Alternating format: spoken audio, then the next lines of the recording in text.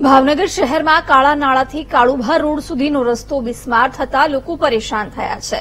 મનપા દ્વારા ડ્રેનેજ લાઇનની કામગીરી માટે ખોદકામ કર્યા બાદ રોડને તૂટેલી હાલતમાં જ મૂકી દેવામાં આવતા રોડ પર ઠેર ઠેર ખાડા અને માટી પથરાયેલી છે.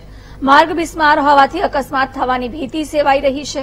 તૂટેલા રસ્તાઓ પર પાણી ભરાઈ જતું હોવાથી વાહન ચાલકોને હાલાકીનો સામનો કરવાનો વારો આવ્યો છે.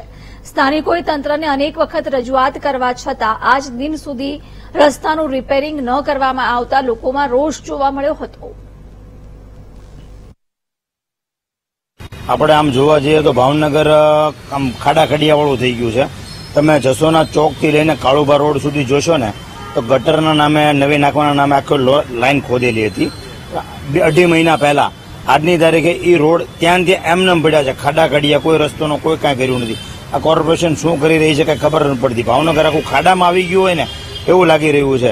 અને ત્યાં આગળથી આજે એમ્બ્યુલન્સ નીકળવી કે સાહેબો નીકળવા, બધી, બધાને તકલીફ પડે છે. ત્યાં હોસ્પિટલો કાળો બાજુ કેટલા આવ્યા છે? બધાને તકલીફ પડે છે તો સરકારે તાત્કાલિક આના પગલાં લેવા જોઈએ. ભાવનગર શહેરના મોટા ભાગના રસ્તાઓ બિસ્માર છે એમ ચોક્કસપણે કહી શકાય, પરંતુ જે વાત કરવી છે, ભાવનગરના મનપાની જે કચેરી આવેલી છે, કાનાળા ત્યાંથી લઈ અને કાળુભાર સુધીનો જે રોડ છે, એ અત્યંત બિસ્માર હાલતમાં છે.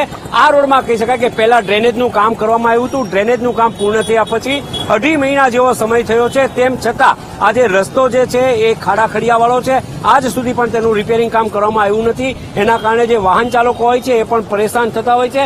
અહીંથી કહી શકાય કે આજે રસ્તો રસ્તો એ મનપાની કચેરીનો છે. પદાધિકારીઓ અને અધિકારીઓ, કમિશનર સહિતના અધિકારીઓ અહીંથી નીકળતા હોય છે. તેમ છતાં રસ્તાનું રિપેરિંગ કામ થતું નથી. Nitin Soni, V TV, Bhavnagar.